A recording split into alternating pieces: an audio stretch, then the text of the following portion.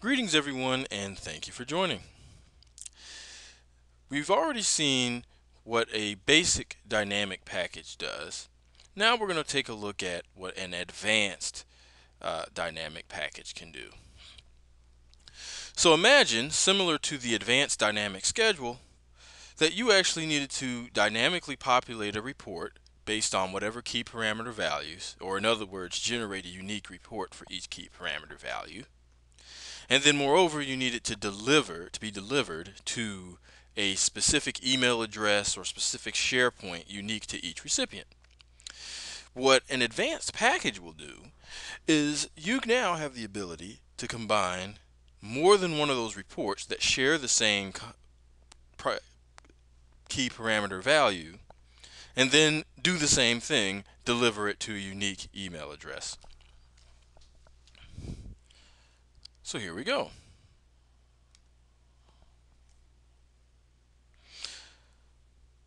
First we'll name our package and then we will give it a description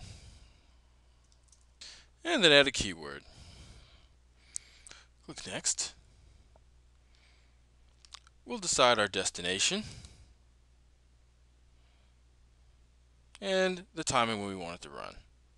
Let's run this every day. Now similar to a basic dynamic package, you would actually add all the reports that you need.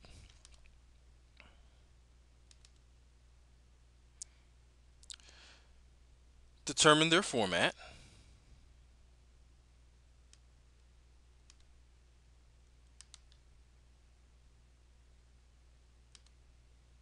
And just keep selecting until you've gotten all the reports that you need to run.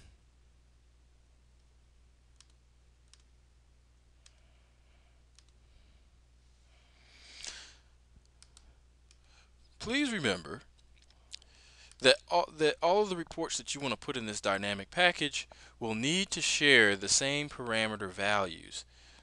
That way, when we're running the when we're running a unique report for each recipient, each report will be ran for that recipient and then attached in the email and sent to them.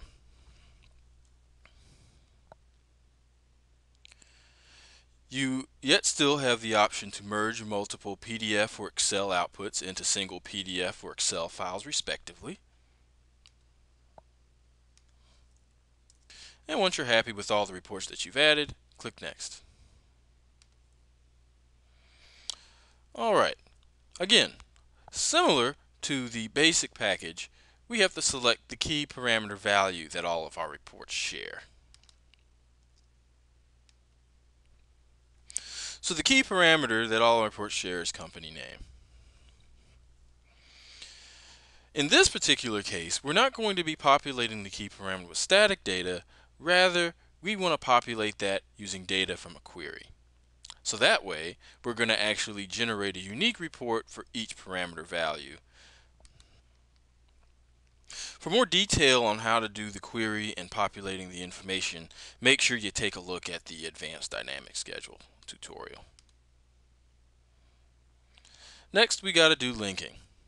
In this case, we're not going to be sending these, these reports to static addresses or static disk drives or anything like that. Rather, we're going to send this to a changing list of recipients.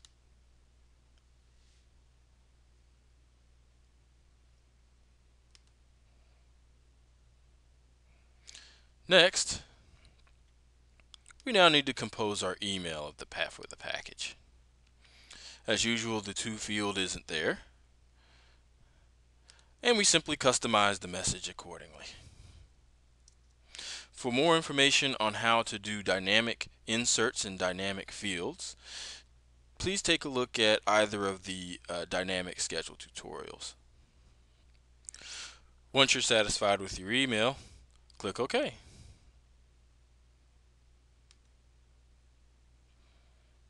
And then click Next. You can perform all the usual tasks when it comes to exception handling. You can learn more about that in the other tutorials. And you can perform custom tasks if necessary. Once I click Finish, my schedule shows up. And if I right click on it, I can add a report to it if necessary, if I've added new reports that share some common things that need to go to common individuals. I can execute it on demand, and then I can even edit their properties.